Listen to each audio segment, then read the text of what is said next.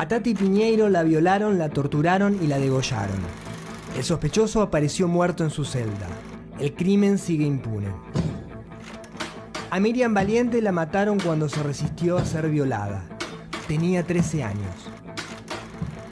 A Mariela García la mataron de un escopetazo.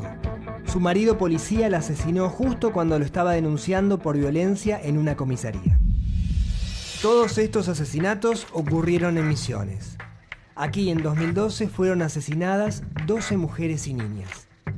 La policía y la justicia no hicieron mucho para frenar la escalada. Son las mujeres las que tratan de ayudarse entre ellas.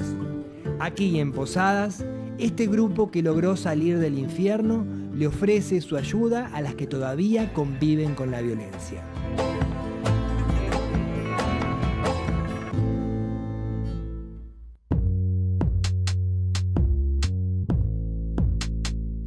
Hola. Sí. Hola, ¿qué ¿cómo tal? están? ¿Cómo Las estás? chicas de Progen. Sí. Y ustedes saben de qué se trata porque muchas de ustedes también fueron víctimas de violencia. Sí, ¿Vos en tu caso? en mi caso sí, física y verbal. Cuesta entender que es un círculo, que uno va a dar muchas veces vuelta al mismo círculo y cuesta conseguir acompañamiento. Eso es necesario porque la víctima se siente inferior, descalificada. Son muchos años de violencia. Nos hace difícil el salir adelante, la parte económica, la sociedad misma, porque es una cultura machista donde la mujer que querés decidir, eh, decidir separarte, ¿por qué? Porque seguro que tenés otro. No pueden entender que te cansaste de que te traten como una basura, que te descalifiquen día a día. En el círculo de la violencia de género lo primero que una mujer pierde es su autoestima. Por eso la labor concientizadora empieza con la charla, el volanteo y el contacto directo. Es así el trabajo, ¿no? Va la promotora y pasa por el barrio y se engancha hablando con, con las vecinas. Sí, este sector se ocupa más ella porque ella fue vecina del barrio, conoce a cada uno, porque la víctima necesita tener una cierta confianza. No es fácil, porque lo primero que uno siente es que te estás metiendo. La sociedad te condena, ¿qué te estás metiendo? El problema es de pareja, es de a dos, ¿por qué te metes? Vos tenés que estar ahí eh, haciéndole tomar conciencia a la mujer. Cuando ella por ahí viene un día y te dice, la ves con el ojo negro y se anima a contarte, te das cuenta que esa mujer se animó a, a contarle su problema, que cree que no lo sabe nadie, lo sabe todo el mundo, pero ellas creen que no, se abren con vos y te piden ayuda. Nosotros necesitamos estar ahí para el día que ella decide hacer la denuncia. Para estas mujeres, hablar de violencia es revivir un infierno que creían sepultado. Pero además, meterse en medio del drama de otras es también un trabajo de riesgo. Vas a ir a la casa donde está El victimario, pues nos encontramos con el agresor y nos encontramos con una familia del agresor, donde así como agrede a su mujer, también nos pueden agredir a nosotros. Claudia.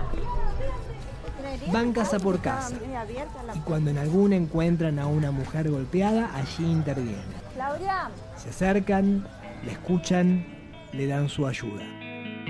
Yo tuve un marido que me pegaba, sí, de que le tuve a mi mellizo, todos. Eh, me pegaba a mí, a los chicos. Estuve muy mal con, con mi marido y bueno, después me separé de él. Volví de vuelta, pero ahora estoy sola. siempre hay que estar Siempre cerca atento, y ¿no? sin cansarse, porque también entendemos que la víctima puede volver muchas veces, es el círculo. Va a creer que ella va a poder, que no necesita, después pasa un tiempo, se da cuenta que lo quiere, él le pide perdón, le promete todo lo que nunca le cumplió y vuelve, hasta que alguna vez esa mujer decide, bueno, decir basta, romper el círculo. Y es ahí donde más que nunca tenemos que estar.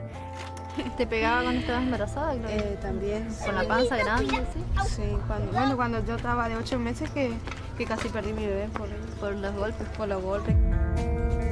Y era de cosa de loco, como decir porque era enfermo. Que hasta ahora es enfermo porque No cambia. no, no cambia, una persona así, eso no cambia.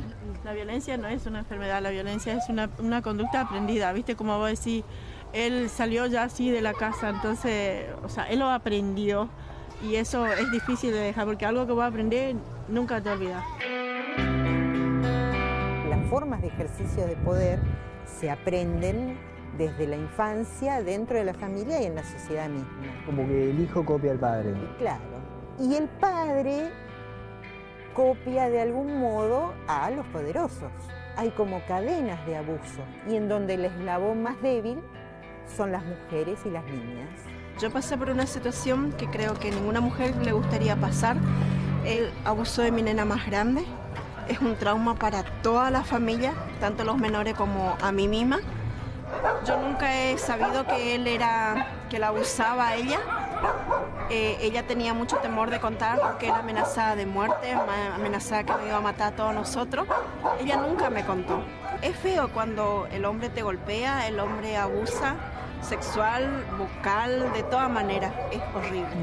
Tenía mucho miedo de él, mucho miedo de él. ¿Tienes miedo de, de que te mate? De que, que, o sea, que él mate a mis hijos o que pensaba que él nunca iba a ir preso definitivamente como él fue ahora. Yo tenía miedo de que él vaya tres, cuatro días y salga y nos mate a todos. Igual que ahora mismo, yo vivo temorizada de que él salga y él venga y quiera vengarse de lo que, lo que él está pasando allá y que se vengue de nosotros. Tengo mucho miedo.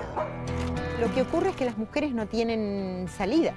No hay suficientes refugios, no hay salidas laborales para las mujeres que han sufrido violencia. Yo creo que pasa básicamente por una cuestión de mentalidad patriarcal, en donde eh, la mujer, sobre todo si es pobre, eh, es absolutamente despreciada. Y lo que le ocurre a esa mujer no tiene ninguna importancia para el Estado.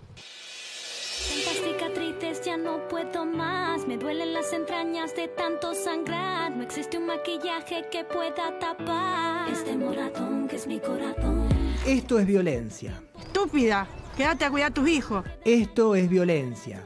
No poder decidir cuántos hijos querés tener. Y esto también es violencia. Vos sos mi mujer y te, te mere- me, me merezco que vos agarres y te acuestes conmigo. Violencia verbal, violencia sexual, violencia económica.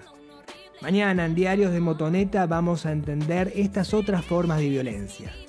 Y vas a ver de qué manera las mujeres del Progen trabajan para concientizar a las víctimas. Lágrimas caían tras un empujón y el primer puñetazo. Te conformas con un perdón y un simple abrazo. No quieres darle importancia porque no quieres perder.